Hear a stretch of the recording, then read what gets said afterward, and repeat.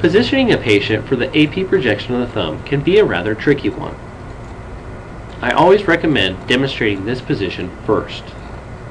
Then, you can place the patient in this, position as desired. Sometimes, adjusting the body position of the chair can help the patient place the hand in the correct position with the least amount of strain.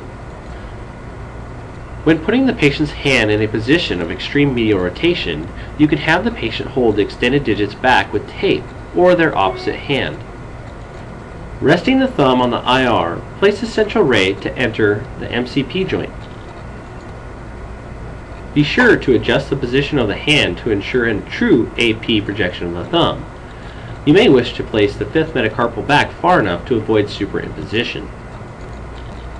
And once again, collimation should be similar to other digits. When evaluating the image, remember, there are only two phalanges in the thumb. Therefore, the carpal metacarpal joint should be clearly demonstrated.